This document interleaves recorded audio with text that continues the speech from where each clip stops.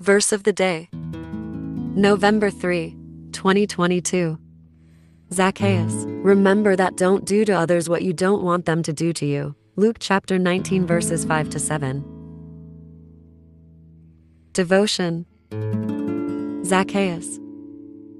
We should all take comfort in the story of Zacchaeus, because although we may not all be tax collectors, we are all sinners. How the self righteous were happy to point fingers. Jesus came to let us know that God loves all of us, and that forgiveness of sins was there for all of us. The first thing we need to do, however, is to admit that we are sinners. How often do you examine your conscience? I know I don't do it often enough. Oh, I can usually remember the obvious things. But do I think about the times that I haven't been the person God has called me to be? How many opportunities have I missed because I was too busy with my own agenda to reach out to someone else? Do you ever find yourself watching television or reading a book or playing a game when you are on the phone with a friend who needs you? Have you ever canceled out on a friend because you got a better offer? These may not seem like sins to you, but if you would be offended by being on the receiving end of these behaviors, then they're sins. Remember that. Don't do to others what you don't want them to do to you. As I write this, I'm thinking,